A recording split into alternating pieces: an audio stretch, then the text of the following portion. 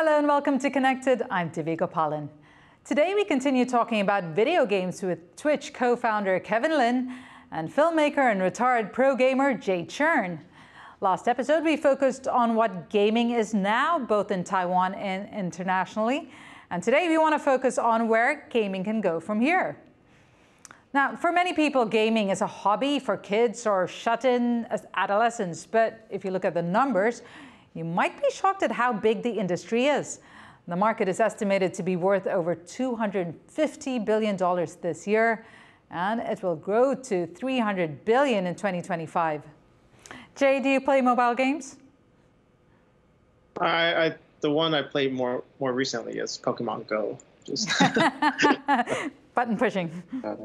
yes um, as, as you've grown older and as a former gamer, is there some, what you, is there any particular uh, characteristics of a game that you look for now, particularly as you've kind of grown up a little bit and I think I'm assuming your tastes are a little bit more sophisticated. I don't know if Pokemon Go is more sophisticated, but it's definitely more relaxing. So you know. so, so you're I looking like, for relaxing games now. Yeah, I mean, I, I think Kevin yeah had a really good point about I think when I you know when I was younger, you know, trying to be like very competitive and and if I'm playing in a group like if I'm playing on an online server, I, I try to finish you know top two or you know top five. Now it's just like okay, if I can last you know for maybe like five ten minutes and and not like self explode, I think it's pretty good. So I, I it's definitely a different mentality now as far as how how to game and for me personally, yeah, if it's too much stress on, like normally, maybe it's because you know I edit and I work in front of a c- computer a lot of times also. So if it's too difficult on like on the dexterity or yeah, if it's a lot of tapping or high stress, I probably uh, I'll probably play every once in a while, but definitely not every day. Definitely retired then. Speaking of your filmmaking, like I mentioned before, our guest Jay is not only a former pro gamer, but perhaps more importantly, an acclaimed filmmaker. So we asked him to show us a bit of what video games may look like in the future. Game begin.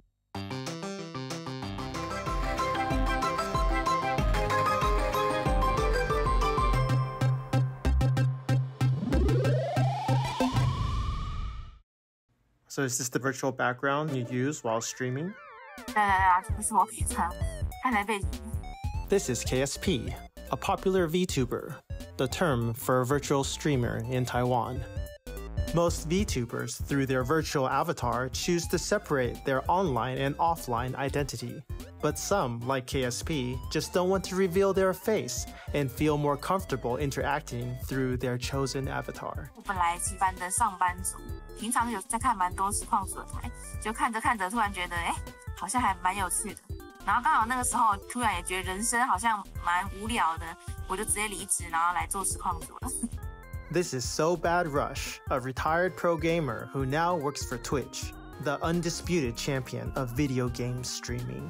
我觉得实况这个产业到现在已经在台湾，已经慢慢变成一种陪伴的产业了。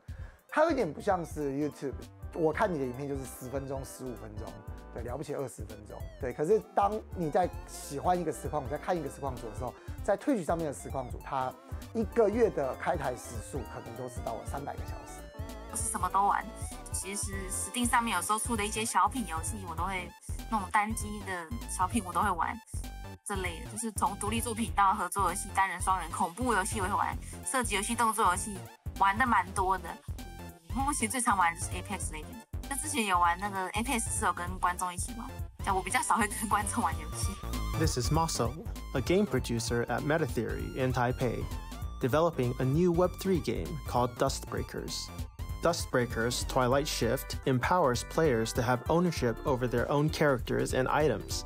The new game is also experimenting with players' actions, changing the outcome of the overarching story and narrative, making it unique to each and every player. MetaTheory is also developing fun new tech for virtual streaming using iPhones and iPads to capture a streamer's movements and facial expressions. 想要当实况组 的的建议。我自己是觉得不要去太在意那个数字，数字很重要，钱也很重要，但是我觉得自己做的开心比较重要。因为当你不开心的时候，这些东西都不会有。嗯 这些东西很难很难看得到，你会得到你想要的。我觉得就是放宽心，就是做你自己想做的事情。这个这个是用爱发电的，然后不要去得失心太重吧。我自己是这样想的。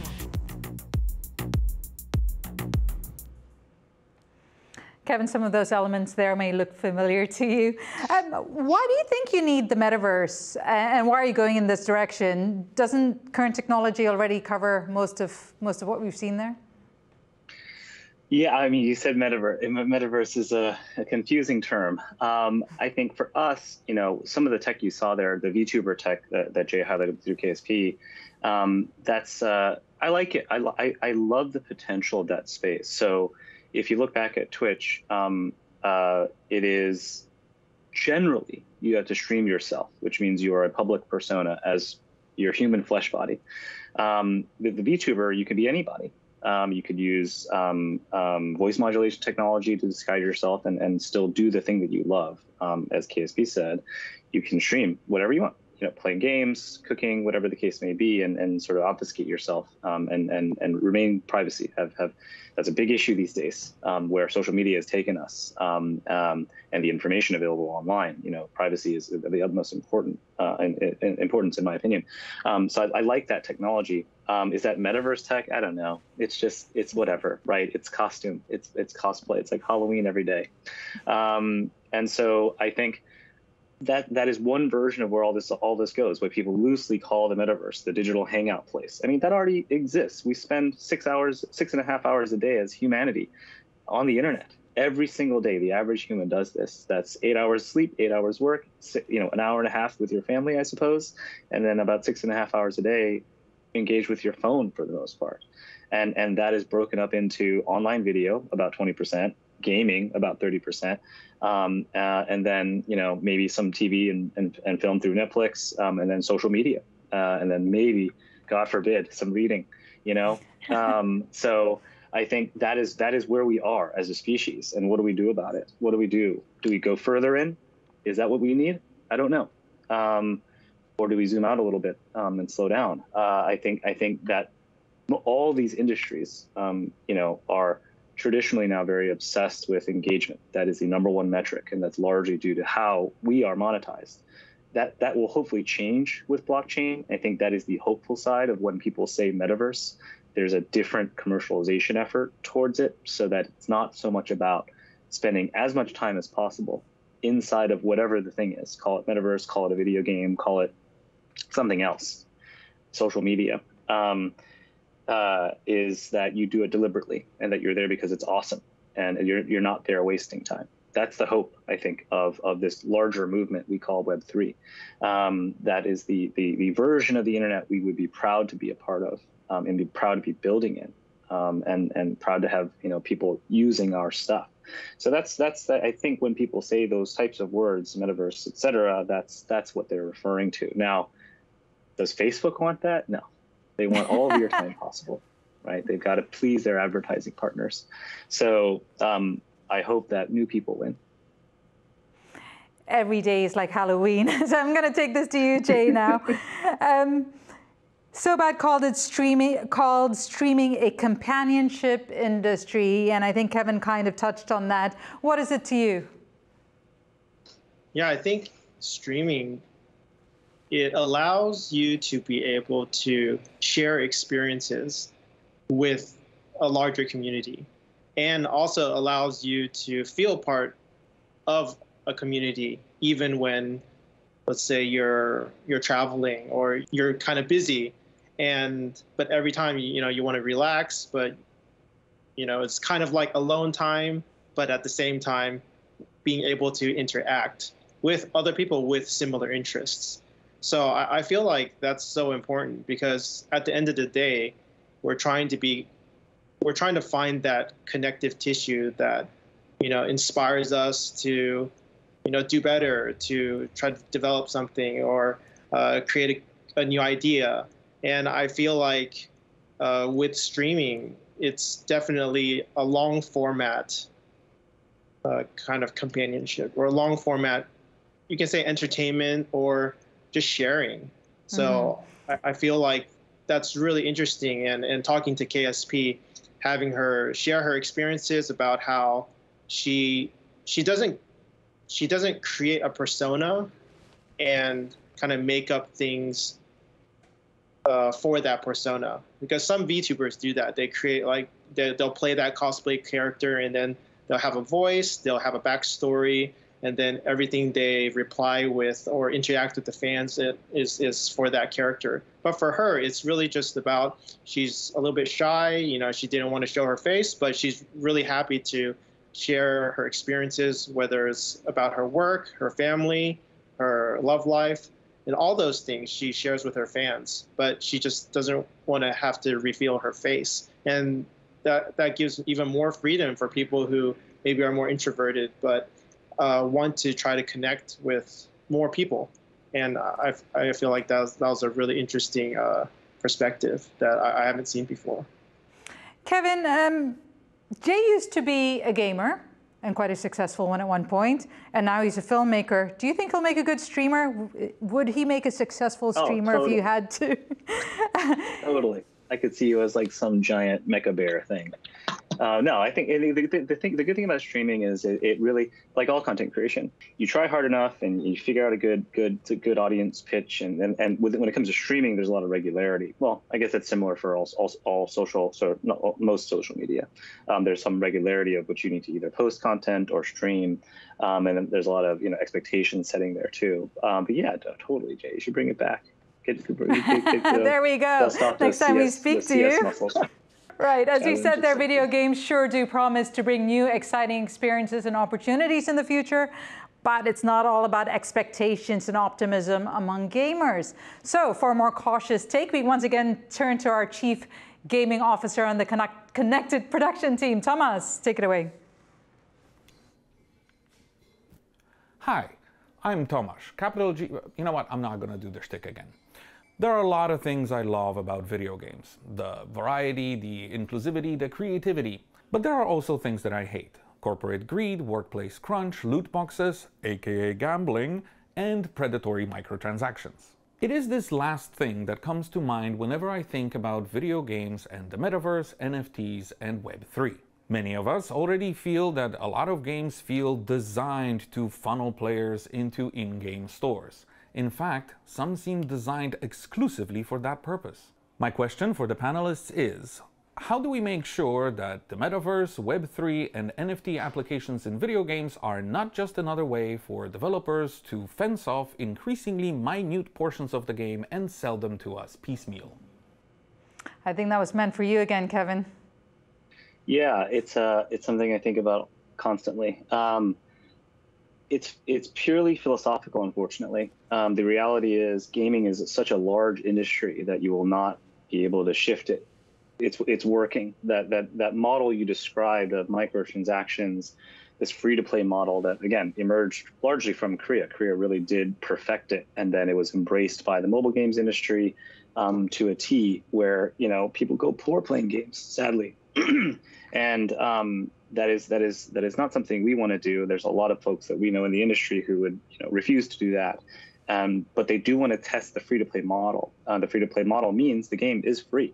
Um, there are many versions of this. There are versions that force you into these transactions that uh, you hit these gates in the game where you can no longer play. It, it becomes less fun. It becomes hard, let's say.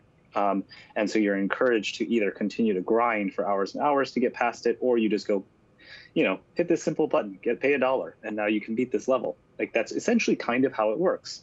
Um, sort of like normal life in a way. Um, but it is abusive. It can be abusive, and so there are game studios out there. I'll, I'll pick I'll pick on Blizzard um, as a positive version of this, where when they were making Hearthstone, you know they consciously decided like okay let's let's kind of limit this. Let's not make it so people can spend tens of thousands of dollars in this game. Let's make it so it's maybe you know a couple hundred bucks if you really want to. And there's actually no real reason to spend the money except for cosmetics. Uh, fortnite is the same way. Um, it's a free game. The whole game is free.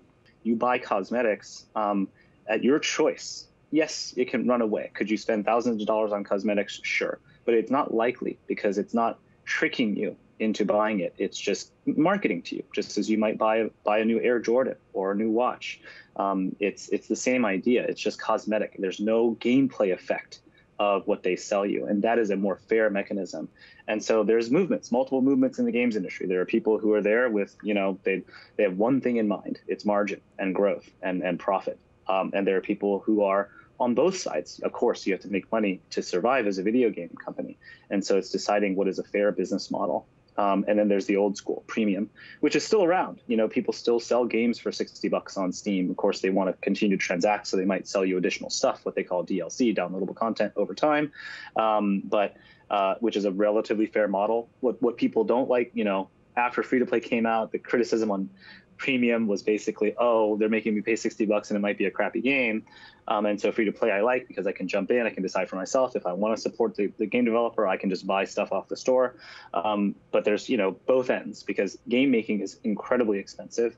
Um, games like Call of Duty cost hundreds of millions of dollars to make every single year, just like a just like a you know a big a big CG film would, um, and so it's it's expensive um, and it's risky, and so you'll see a lot of these models continue to exist. I think in Web three, unfortunately, a lot of the a lot of the starter models were, I wouldn't say by design abusive necessarily. Um, it was all very experimental, um, but you have this floating thing called a token, and that's the a token that traditionally is used in a video game is, is a soft currency. It's not it's not transferable back to cash. You spend cash to get it, or you grind it. You play the game to get it.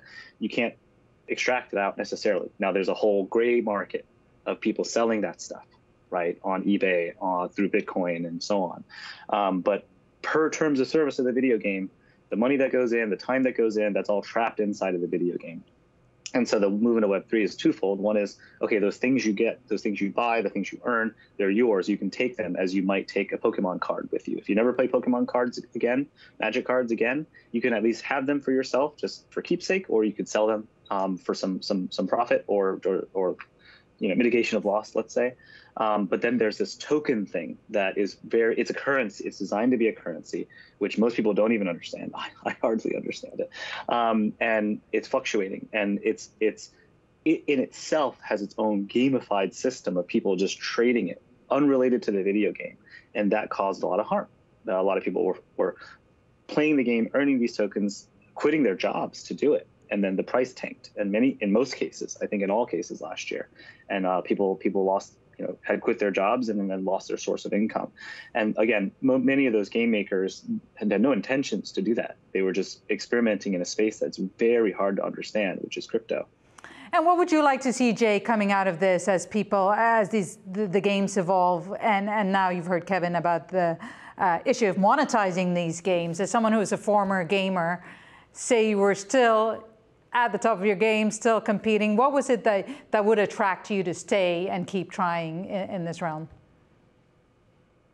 I think that that's kind of uh, two different uh, sec or two different questions in a sense. I think with competitive gaming, it's definitely about the structure, about uh, if as a competitor you can get support, whether it's getting a monthly salary, if you're good enough to be able to focus and practice, and then kind of entertain your fans and audiences. Do you and, have to love but, the game? Oh, definitely. I feel like to to be able to spend 12 hours a day playing a game uh, just for competition that you don't like, uh, you'll definitely burn out really quickly. And I think that at least that was my experience, even you know, from high school through college. Uh, in Counter Strike, in our team of five, or usually we had six people uh, the sixth person as a backup. Um, if they weren't passionate about the game or they weren't passionate about trying to learn new strategies or trying to compete, you would you would really quickly burn out. I mean, it, will be fun to be in that environment where, like you saw Gamer be with all the fans cheering you, you'll get to that high. But once you make a misstep and let's say you lose a couple tournaments and you're also having difficulty kind of seeing your future of how to kind of support yourself playing this game as an esport, then it, the really quickly that illusion of uh, kind of the grandeur of of being like a, a top champion. Once that wears off, it kind of goes away. And as far as like uh, free to play gaming and monetization, I feel like that's definitely something that I didn't have to think about gaming uh, when I was growing up. You know, you, you would buy your game for 50 $60, whether it's, you know, StarCraft or uh, Nintendo. Uh, you know, you, you'd, you'd buy the game and then you would just play it. Uh, but I, I, feel like with my experience with uh, Pokemon Go, that's free to play. But then, you know, as you're grinding, you're trying to get like higher levels, or you want certain items, uh, certain cosmetics changes, then it kind of baits you into trying to uh, spend more and more money. So I've definitely fallen into that trap. And, and, Kevin, to you, you know, China started putting restrictions on gaming. I mean, they, they did they, they, they did a number on the whole industry to begin with, but then also on society saying children should only play so many hours and kind of put, put really hard and fast rules there. You, is that something you ascribe to? Do, do, you think that's what needs to be done in society so to, to limit the abuse from both uh, the gamer or the game creators and from people who are playing? Um, it's a big question. Uh, I think what we should do is educate people and, and let them make their own choices. Um, I think there are certain abusive mechanisms in games that are being discussed. Um, what Tomasz mentioned in, in the clip about uh, loot boxes is gambling. That is in, that is in debate across the globe. That's United States, that's Europe, that's China, that's everywhere.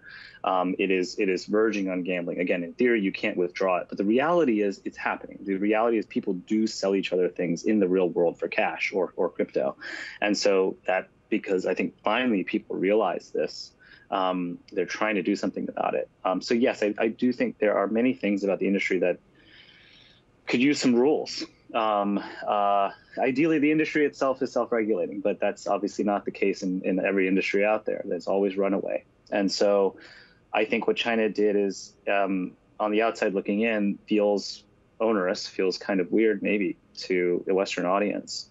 Um, but when you realize like that is, you have to do both things you have to work within the industry and then you have to work on the output of the industry and, and figure out how to best treat the consumer. And so when, when something slips past you and becomes abusive, that may be the only thing you can do. Um, but that that is that is actually what that's actually a, problem around the globe, right? People waste money on, on dumb games um, and they're tricked into them. They're trapped um, and they get no real value. They get no social value. They, they don't really get any story value. They don't get any memory value. There's nothing really interesting coming out of many of these types of games, um, except it's a waste of time. It's a great it's a great way to pass the time, I should say. Um, so how do you regulate it? I don't know, but I do think that you know best bet, and this is the harder thing to do, is to invest in education at the ground up, um, so that when it comes to life decisions around, do I waste five hours in this crappy slot machine style game, um, or do I do something more valuable? That's your choice, really, right? Do you choose choose to sit around and watch TV all day? Yeah, you, you could do that. That's your choice. Is that something that the rest of society might be like, well, why are you wasting your time? But at the end of the day, if people were just educated better, I think then they, they could make their own choices and, and, and know that by making the choice that they're doing, what the consequences might be for the rest of their life. Right. Uh, before we go, I just want to ask you um, I'm not your demographic at all. I, I, don't think I am. What would you suggest that I would, I should do, or I should start playing, or start start thinking of? Um, if you want to see one of the biggest games in the world and start to understand gamer mentality, um, I have, th- I guess I have three recommendations. I, I, I would say um, Genshin Impact. I don't know what it's called in Taiwan, uh, but it's a, it's a company called HoYoverse, MiHoYo, a Chinese company. It's Japanese anime in style. Uh, it looks like Japanese anime, but it's actually Chinese developer. Um, it is a huge, beautifully designed open world MMO, you know, thing. It's it's kind of many things. It unfortunately has a lot of the monetization mechanisms that um, Tomasz mentioned, but it's cool just to see what it's like because that is one of the largest games in the world today. The other game, um, if you have a computer worth playing, is League of Legends. It's a great uh, team-based competitive game to learn. It's still huge, and then um, I guess Minecraft. Uh, Minecraft is is mobile. Minecraft is an amazing story in the games industry. It was made by one guy. um, eventually bought by Microsoft for for a, for a great deal for Microsoft. Um, but it is still one of the largest, most influential games in the world, played by hundreds of millions of people every single month. Um, it's got sort of like how do how do what's a good analogy? It's like Legos in a sense. You you you you get thing you get materials and you build with your friends, um, and people build really elaborate. Like you can see an entire on one server. There's every single city. Actually, I shouldn't say one server, but as an example, you can see all of Manhattan completely rebuilt inside of Minecraft. I am sold. And Jay, what do you suggest? Pokemon Go? Uh, no, don't don't play Pokemon. don't follow. It is awesome though. Yes. It at least got people to go outside. Yeah, yeah, yeah. I, that, that's that's good. Yeah, I did I did walk a lot uh, because of because that's a plus. Yeah. yeah. You get. I think you can. Uh, if you do want to try StarCraft two, then we can play multiplayer, two against two. Me and Kevin versus you and Tomas. All right. Uh, why am I on the losing side? No, no, no. All right. Thank you so much to both my guests, Kevin Lin and Jay Chern, for shedding some light on the mega industry that is video games. Thank you so much for your time and thank you to our viewers for your company. Thanks for watching Connected.